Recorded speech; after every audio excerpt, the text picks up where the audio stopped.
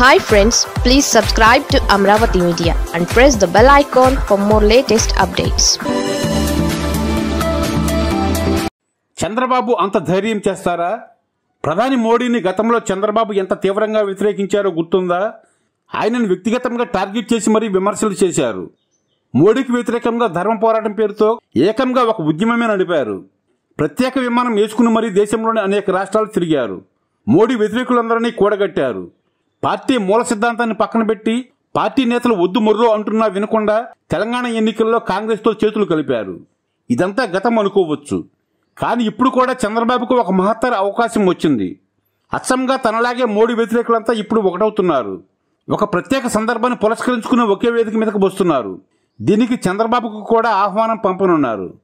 దాసుడి తప్పులు దండంతో సరి అంటూ మోడీని ప్రసన్నం చేసుకోవడానికి పరితపిస్తున్న చంద్రబాబు ఈ కార్యక్రమానికి హాజరవుతారా? బీజేపీతో పొత్తు కోసం చకోర పక్షిలా ఎదురు చూస్తున్న ప్రస్తుత పరిస్థితుల్లో మోడీని వ్యతిరేకించే ధైర్యం చేస్తారా? ఇవన్నీ ప్రశ్నలే. చంద్రబాబు నాయుడిది రెండు కళ్ళ సిద్ధాంతం అంటారు. అది రాష్ట్ర విభజన కావచ్చు పార్టీలతో పొత్తుల విషయం అవ్వచ్చు. చంద్రబాబు రాజకీయ ప్రయాణం గమనిస్తే ఆయన ప్రయాణం ఎప్పుడు రెండు పడవల మీద సాగుతుంటుంది. అవకాశాన్ని బట్టి పరిస్థితులను బట్టి ఆయన అడుగులు మారుతుంటాయి. ఇక వర్తమానంలోకి వస్తే కేంద్రంలోని బీజేపీతో మళ్ళీ మైత్రి బంధాన్ని కలిపేసుకుని రెండు వేల ఇరవై నాలుగు సార్వత్రిక ఎన్నికలు ఎదుర్కోవాలని చంద్రబాబు కోరిక. అందుకు పవన్ కళ్యాణ్ను కూడా వాడుకోవాలని ఆయన వ్యూహం. అయితే బీజేపీ ఆయనను దగ్గరకు రానివ్వడం లేదు.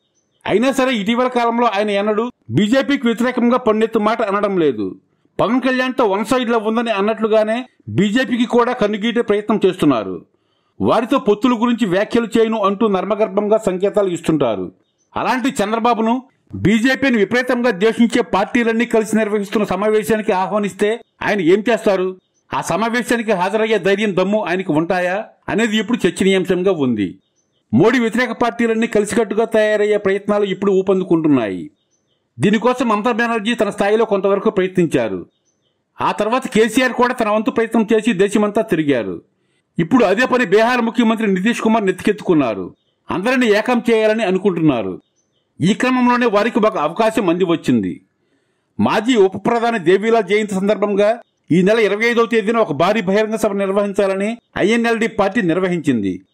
ఈ సభకు కీలక నాయకులందరినీ ఆహ్వానిస్తున్నారు. మోడీ వ్యతిరేకత బీజేపీ యాత్ర పార్టీలు అన్నవి మాత్రమే అర్హతలు అని ప్రత్యేకంగా చెప్పనవసరం లేదు.